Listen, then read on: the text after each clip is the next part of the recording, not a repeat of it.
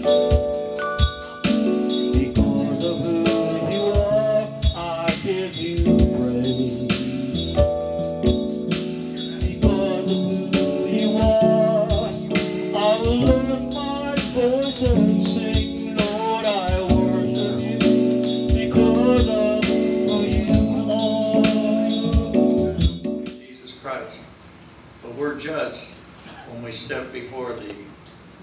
judgment seat of Christ by our works.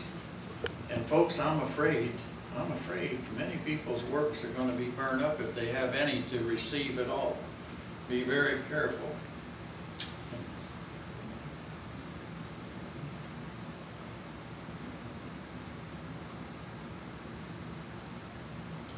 I, I say that because I'm seeing things that are causing me distress in my, in my spirit.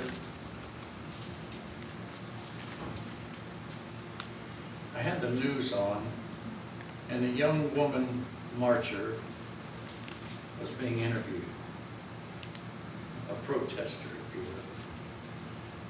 And she was protesting about female equality. Now, you all know that I stand on the Word of God and on Acts 2, where it says in the last days he'll pour out his spirit on all flesh. His sons and his daughters will prophesy.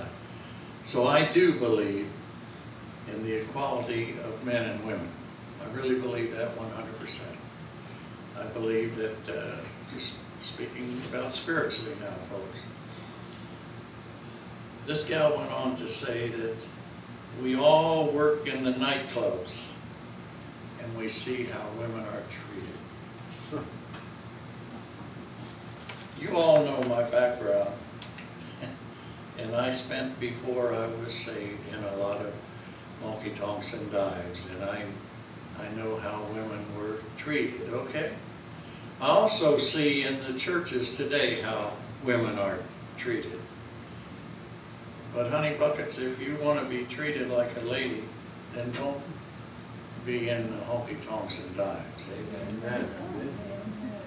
Get with God's people, and if you're in a church where a pastor is who he's supposed to be, a representative of God and not of the male gender, then you'll be respected and treated with respect. Amen? Amen. Any of you ladies got a complaint in here? If you do, take him to Al, okay? He's a complaint. Okay, but I'll tell you what, he'll tell you the way it is, be careful. I had trouble this week with the, with a message, I just felt empty. And, and it's, that's a, that's a terrifying feel, I don't, uh, a feeling, I don't know whether you've ever been there or not, but I just felt empty inside, and I prayed and I asked the Lord to help me. And all I seemed to be dwelling on all week long was the conditions of our country and the turmoil that it's in and the disrespect, the protests, the violence, the unrest and the, the disregard for God and His way, and it was very, very troubling for me. I don't know about you, whether it bothers you or not, but it bothers me. And I'm not trying to explain today, and you're going to hear a lot of scriptures that you've heard before, and uh, you're going to say it's the same old stuff. But there's nothing new under the sun according to the Word of God. But, but I am, I, I want you to know, I'm not just saying this, I am terribly troubled over the state of affairs in our country. It doesn't matter whether you're Democrat or Republican. It, uh, it's, it's, the things that are going on are shining their light on Satan, not our God. We got to be careful, folks. I'm telling you, it's very bad. We're living in a very, very, very, very dangerous, at least I believe, very dangerous time. And actually, the times are spoken of in God's Word as the days of Noah. Violence was taking over the world, and it's taking over now, friends. Violence, Amen. you with me, Ed? Violence taking over the world. Can you all see it? Amen. If you can't see it, take your rose-colored glasses off and you can't help but, but see. Real quick, let's look at Acts. We're going to go to the second chapter of Acts and then we'll go over to Thessalonians.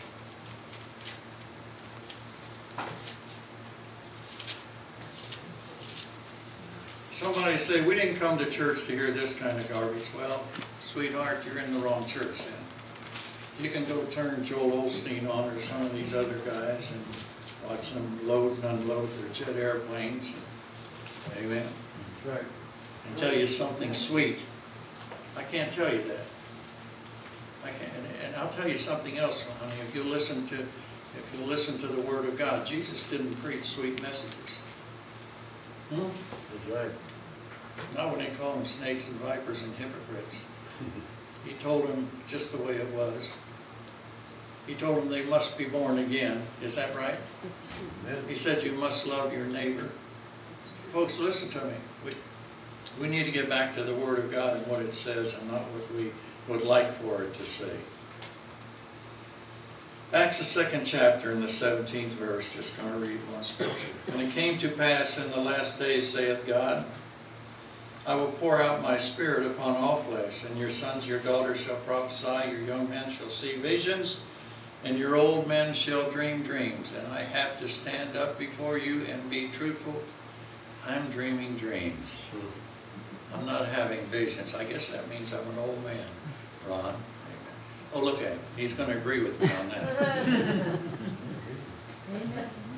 It shall come to pass in the last days, the last days. Folks, this was approximately 2,000 years ago, okay? It shall come to pass in the last days, I will pour out my spirit on all flesh.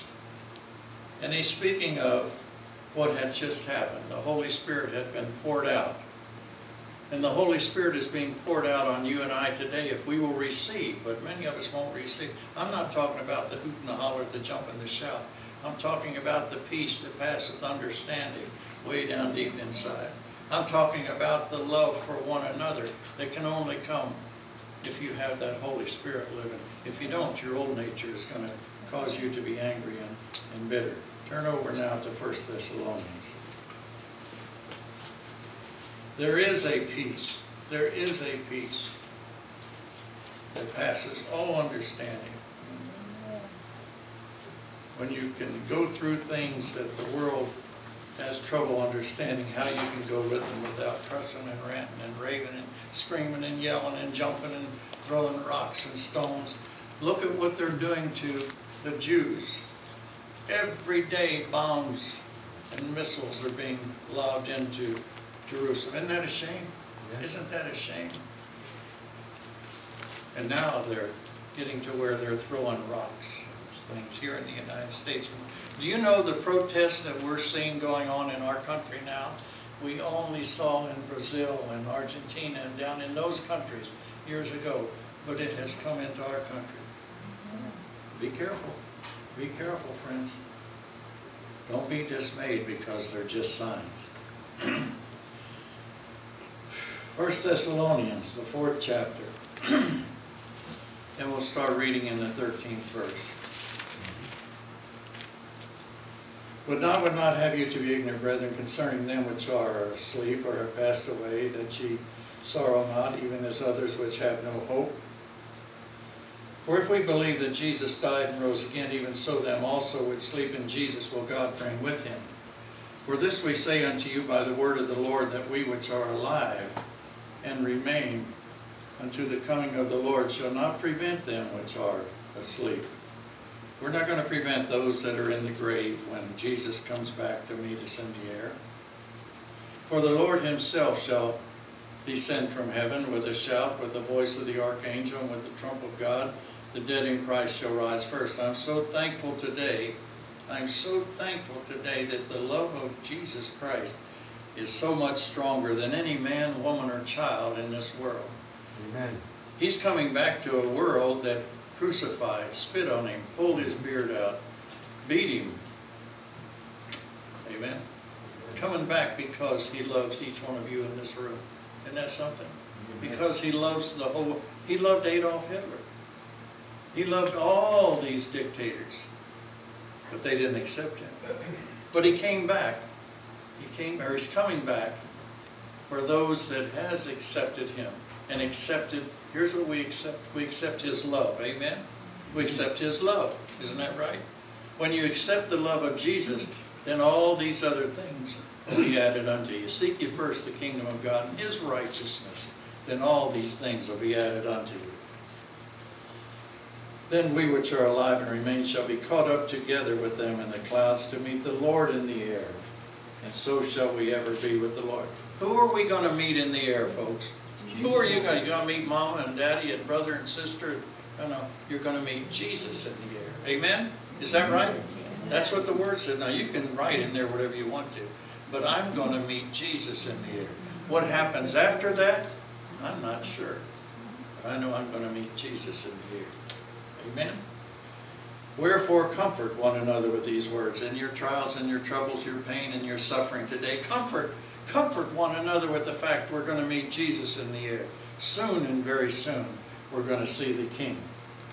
But of the times and the seasons, now here's what I want you to see. But of the times and the seasons, brethren, the times and the seasons of what? Rising to meet Jesus in the air. Is that right? Is that right, brother uh, missionary? Is that what it's saying? We're going to meet Jesus in the air, but we don't know the time nor the seasons, do it? Do we, Frank? We don't know when exactly. Nope. But when you see these things begin to come to pass, lift up your head, for your redemption draweth nigh. The things that you're seeing every time you turn that jerkwater television on, the things that you're seeing are signs of the time, honey, and Jesus is getting ready to come back. But of the times and the seasons, brethren, ye have no need that I write unto you, for yourselves know perfectly that the day of the Lord is coming as a thief in the night. Coming as a thief in the night. Think about that, folks. Think about it. He's coming when you least expect it. For when they shall say, Peace and safety, then sudden destruction cometh upon them, as travail upon a woman with child, and they shall not escape. But ye, brethren, are not in darkness, that the day should overtake you as a thief. You, brethren, sitting here today, are not in darkness, that Jesus should come back because we're looking for him, amen. I'm looking, are you looking for him? Seriously, are you really looking for him? I'm looking for Jesus. and the sooner the better, although the word tells me to occupy and endure till he comes. But I'm looking for him. He could come at any moment. That's why I'm beginning to see things in my life that ought not be there. And I'm just, you got things in your life? Yes, sir, I do. Because if I don't, honey, you better get a hold of my hand because I'm going to be raptured out of here. You understand what I'm saying? Your spirit man is absolutely, totally, 100% perfect. But your mind, that's your soul, and your flesh or not. I ache in my hips, so I know that my flesh is not perfect. I got high blood pressure. I know that my flesh is not perfect. Some of the rest of you got things in your life. You're not perfect. Your spirit is perfect. And thank God my Savior looks on my spirit man, not on my flesh man. If he did, woe be it unto me.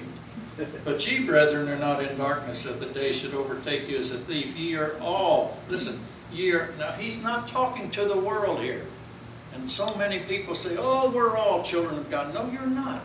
No, you're not. Amen? Amen. Amen. But ye brethren, ye brethren, ye brethren, brethren mean Paul's talking to those that are born again, that have accepted Christ as their Savior. If you don't know Jesus as your Savior, you're not my brother. Amen? Amen. Huh? You don't like that, do you? Well, that's the way it is. But ye, brethren, are not in darkness, that the day should overtake you as a thief. Ye are all the children of light, and the children of the day. Ye are not of the night nor of the darkness. Very plain. If you're saved, you're a child of God. You're a child of light. Amen. Amen. You're an heir of God and a joint heir with Jesus. Amen? Amen. Therefore, let us not sleep as others do, but let us watch and be sober. For they that sleep, sleep in the night, and they that be drunken are drunken in the night. That's kind of outdated, isn't it? There's always somebody getting killed by a drunk driver during the day. Mm-hmm. Right. But let us who are of the day be sober, putting on the breastplate of faith and love, for a helmet the hope of salvation.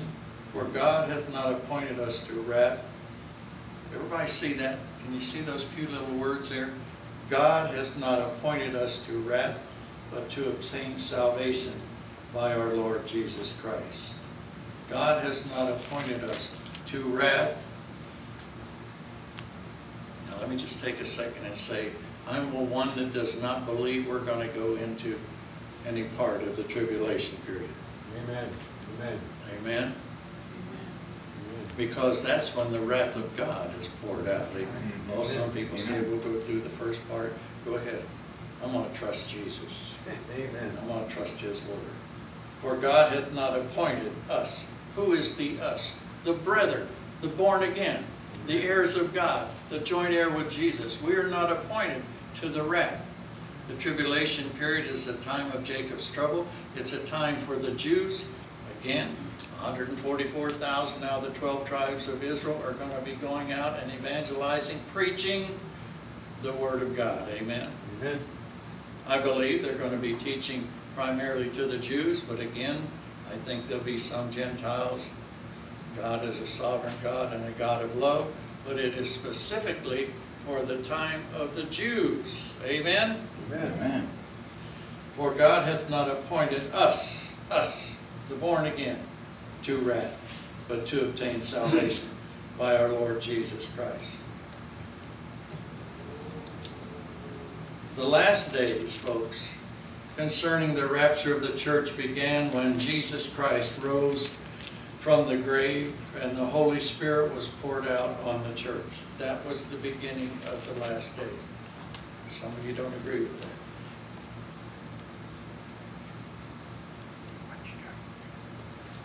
It was at that time, after Jesus rose from the grave, 40 days later, the Holy Spirit was poured out, and we went into a time of grace. Amen? Amen. Time of grace. Amen. I'm thankful for it. We're in that time now. Amen. And folks, I'm telling you today, you better accept the grace of God and His precious Son, Jesus Christ. Amen. Every generation of Christians since that time has believed their generation was the one in which Christ would return. Now, I'm talking about generations, those in the generation that believed in Jesus Christ. Mockers, mockers taunted that this has been believed for a long time. I've heard it, haven't you? Haven't you heard it? People say, oh, they've been preaching that for years. Yes, they have. Yes, they have. They're right. They're right. They've been preaching it for a long time. So what? so what?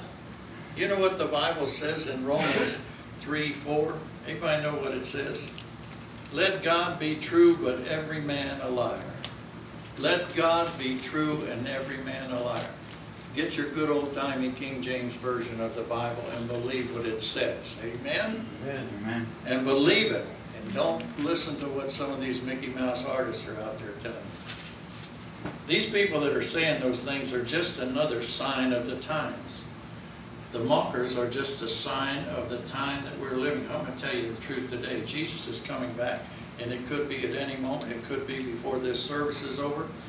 Yet no man knows the day nor the hour. We know the seasons. We know the seasons because we can see the leaves falling. Amen? Amen. What is it when the leaves fall? Is that, is that autumn? Fall. That's fall. I don't know the seasons. But I do know the season of getting ready for Jesus to come back. So to encourage us, to encourage us, I believe God left this to keep every generation ready for his soon return. Amen. Amen. Amen. And that encourages us. It encourages me, I don't know about you, but it encourages me to live fruitful and a holy life. Amen. You say you think you're holy? Well, by the blood of Jesus, yes. But then to live that holy life, that's my responsibility. Amen. Amen. I've been made holy because I believe in what Jesus did. His blood has washed my sins away. Amen.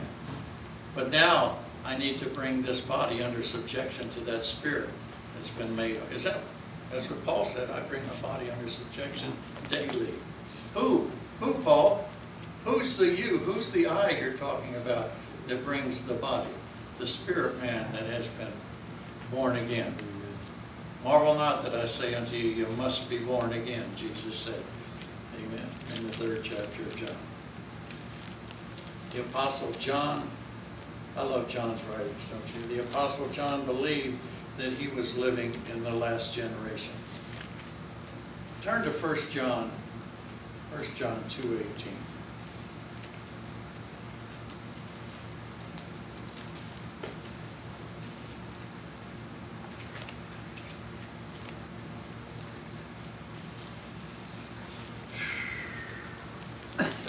Listen to what John says.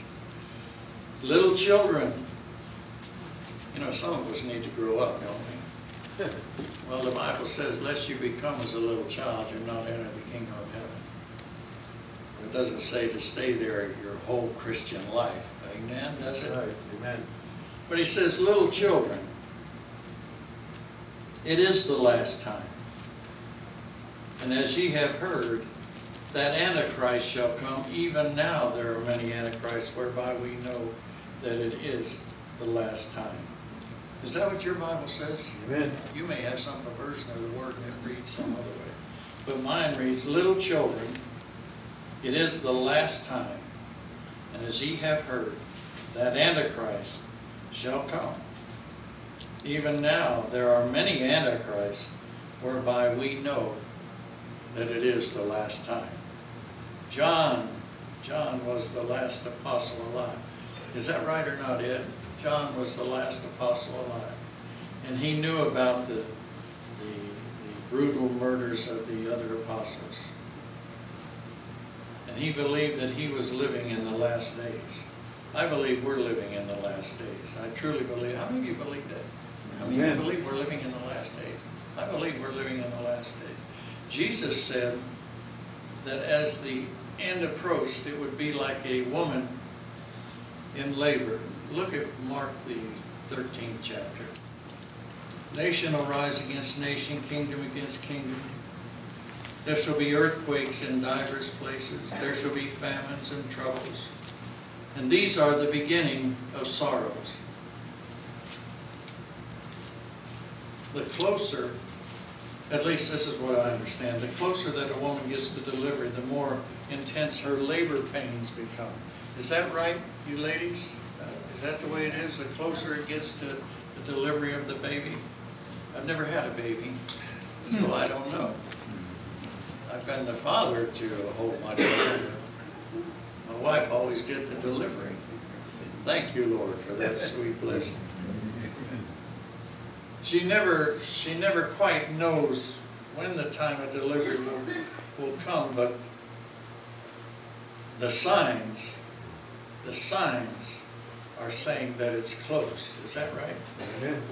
So when we look at all these earthquakes and all these wars, my goodness, wars everywhere, and rumors of wars, we know that it's getting closer and closer and closer. Amen. When you look on your television, you see these poor little kids over in, in Africa drinking muddy water along the side of the road. And how much water do we waste here in the great United States of America? Famines. Mm. Jesus said the world's, the world's labor pains would increase as the time draws near. The earth, listen, the earth, Jesus, Jesus said, would experience the intensifying pains called earthquakes. Right?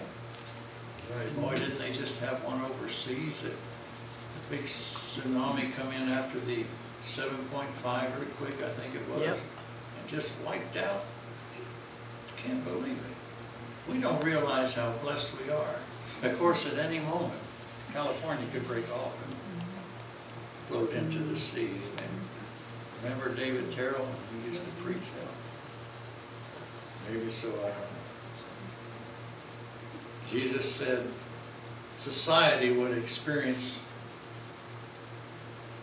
intensifying pain called wars and famine. Paul said concerning the rapture in 1 Thessalonians, look it up, 1 Thessalonians 5 3.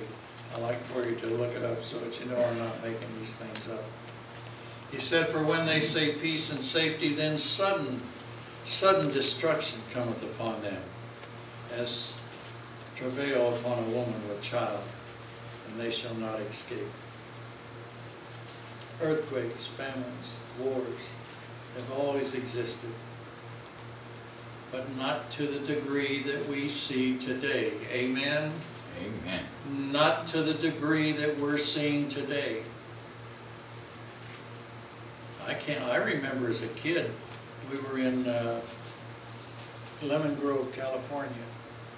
My grandfather had a little service station store combination. And my mother hadn't been out here very long.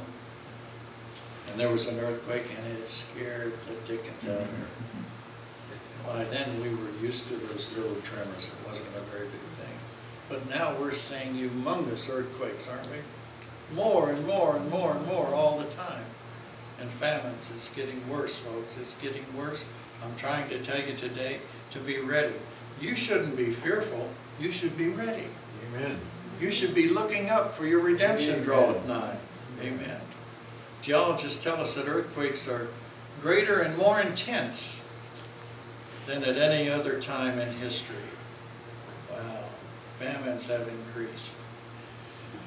The word is we are in the midst of what may be called the last days revival. Now, folks, you know that I don't believe that we are in a revival. Do you? Well, You're going to go have a revival somewhere. But the great last day revival will be when the 144,000 are preaching. Then there's going to be a tremendous revival. The Jews are going to have their eyes open. They're going to say, He was the Messiah.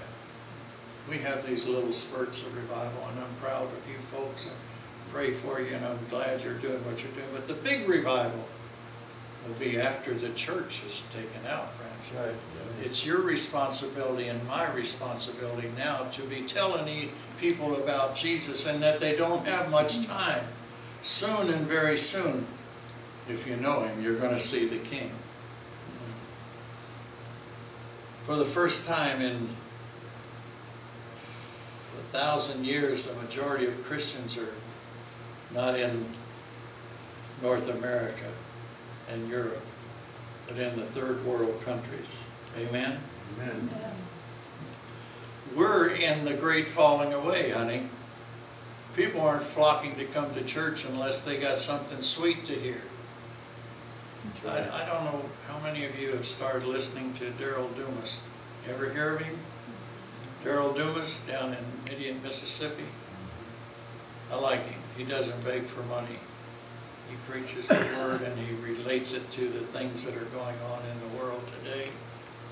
Half hour show, 8:30 on uh, uh, Saturday night and Sunday night.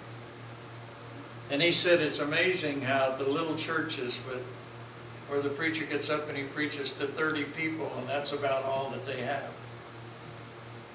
And the guy that's out there preaching everything except Christ, they got 70, 80,000 people in their church. Isn't that a shame? I don't know about you and what Bible you have, but mine says, Jesus says, if I be lifted up, Amen. I'll draw all men to me. If I be lifted up. And sweetheart, let me tell you, when they crucified him and they lifted him up on the cross, he looked down and he saw his mother and John. Where were all the rest of them that he fed? Amen. He didn't have a basket of, of fish and bread at that time, did he? Nope.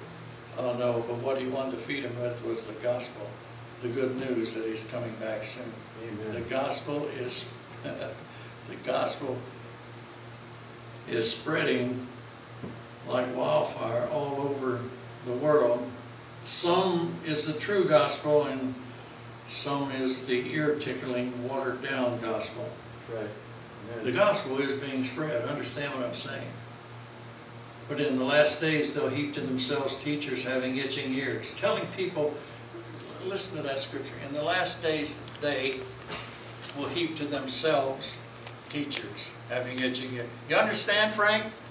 The, the, the preachers aren't out seeking them, the church is bringing them in. So that they'll tell them something sweet and gentle, amen? Christians, listen. Christians are growing cold, and this is a shame in their relationship with Jesus. Why is that? Matthew 24, 12 says, Because iniquity shall abound, the love of many shall wax cold. Many Christians need to go back and do their first work over. Amen? Amen. They've lost their first love. They love the pleasures of the world. They love the sympathy. They love the attention. They love all these things rather than Jesus Christ. Amen. Believe what you will, folks. Revival or falling away. One thing is certain, and you can mark this down. This generation is closer to the return of Christ than any previous generation. How many of you believe that? Amen. If you believe that, then it's time that maybe we made some changes. The Apostle John wrote, Little children, it is the last time. It is the last time. Then, I don't know, but I think it's safe to say that we're living in the last seconds of the last minutes of the last hour. Amen. Amen. If we apply this truth to our lives, folks, and we should, I'm very serious. We should, we, listen, we must, we must live like this is the last generation. This is why I, this is why I felt so empty this week. Oh, I know that I was supposedly on a vacation. I went up to see my new great-granddaughter. And that was a big excitement.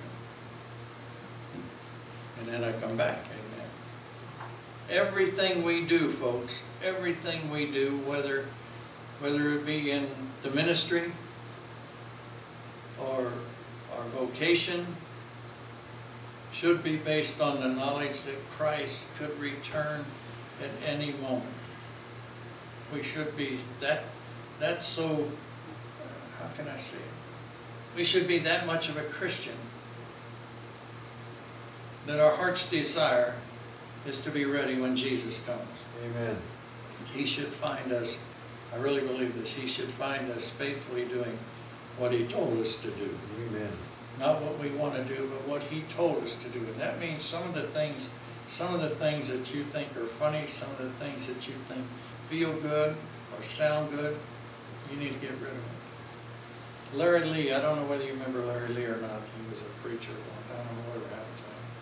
But he asked Paul Y. Cho, and you know, you've heard me mention Paul Cho, he had the largest church in the history of Christianity. He said, how did you build the largest church in the history of Christianity? And Paul Cho replied, simply, I prayed and I obeyed. I prayed and I obeyed. Yeah, A lot of Christians pray, amen? Amen. They don't obey. I prayed and I obeyed. Let me give you a little secret, those of you that take medicine in the morning. If you're going to preach, don't take your water pill, okay? That's why I'm drinking so much water. I took the water pill this week, not thinking. And it just drives me now, yeah. Let me close with one final thought. Let's go to 2 Timothy real quick. 2 Timothy, the third chapter. And I know you've heard it a million times. But we're going to hear it again because I think it's, it's very appropriate for today. 2 Timothy, the third chapter, beginning with the first verse. This know also that in the last days, perilous times, perilous times, perilous times, dangerous times, fierce, loss of strength times, in the last days, perilous times shall come. For men shall be lovers of their own selves, covetous, boasters, proud, blasphemers, disobedient to parents, unthankful, unholy. Are we seeing it? Huh? If not, go home and turn your television on. They're still talking about the, the rebellion against Kavanaugh. Okay, well, it's really against Trump. without natural affection, truce breakers, false accusers, incontent, fierce, despisers of those that are good, traitors, high- heady, high-minded, lovers of pleasure more than lovers of God, having a form of godliness, but denying the power thereof. From such turn away. For this sort, for of this sort are they which creep into houses and lead captive silly women laden with sins, uh, led away with divers lusts, ever learning and never able to come to the knowledge of the truth. We have so many today that are very studious. They read, they listen, but they're never able to come to the truth.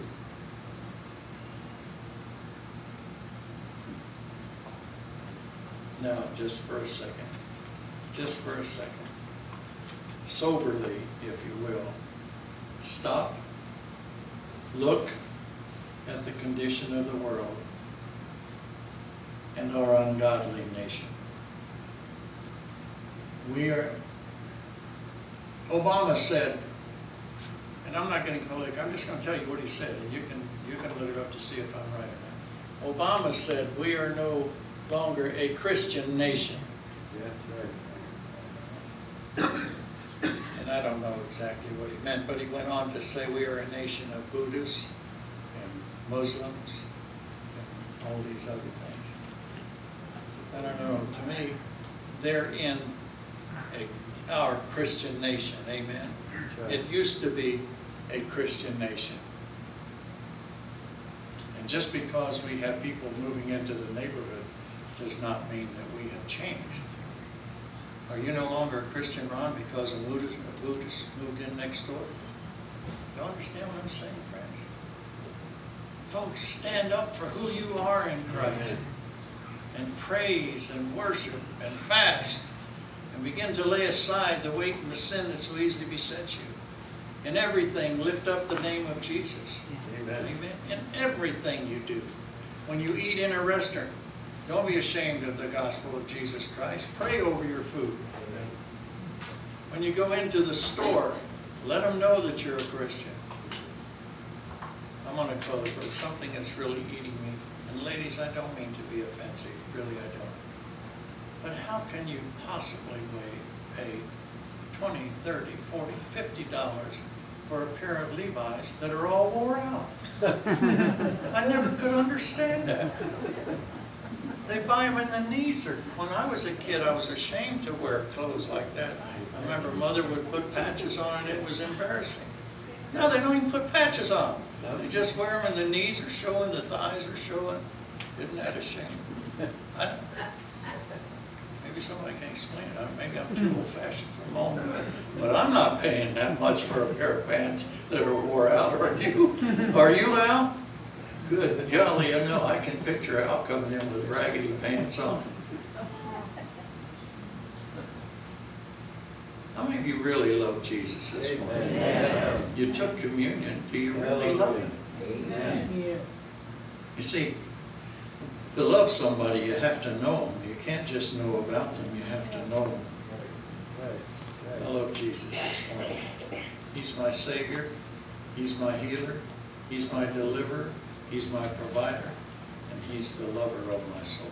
Amen.